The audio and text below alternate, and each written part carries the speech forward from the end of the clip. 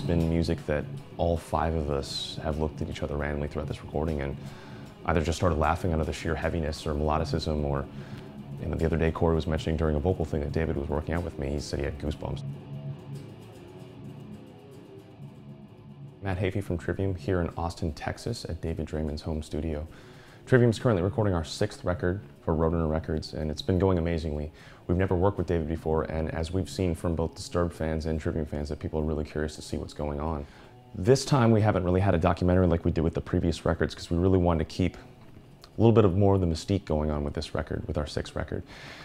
So far, the music's been some of the best things we've ever heard, some of the heaviest riffs we've ever heard, and obviously from the guitar tone that you can't quite hear yet, but that you will hear when the record comes out, you'll see that this record's been an amazing union between Trivium and David.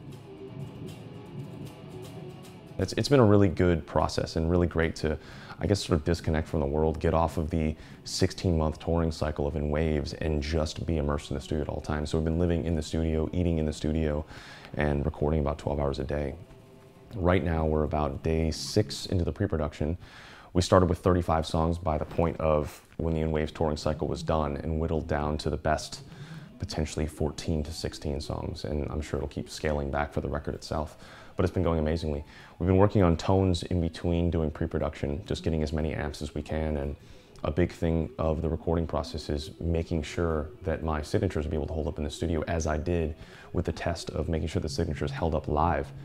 I think that's the biggest test because you see a lot of artists that have their signature model that is something that's a lot more of a higher grade than the one that's available in stores. And I wanted to make sure that what I was playing live and in studio was the same one that Trivium fans be able to pick up in stores.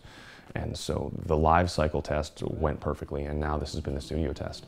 And so far, it's been going really, really well. As you can see, I've got the seven string. It still has some of the blood, sweat, and tears from the last 16 months on it.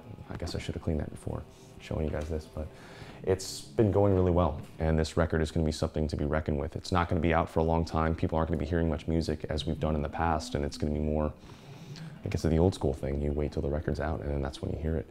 But I can tell you that it's some of the best music we've ever worked on ever. And David is one of the greatest producers I've ever met. I, before he approached us of working on the record, we weren't even entirely sure that he had been producing. And now that we, we've heard the Device record, we've heard what he's done with Trivium, and we've heard what he's done with Disturbed, it's, it's gonna really blow people's minds when they hear what he's helped us achieve.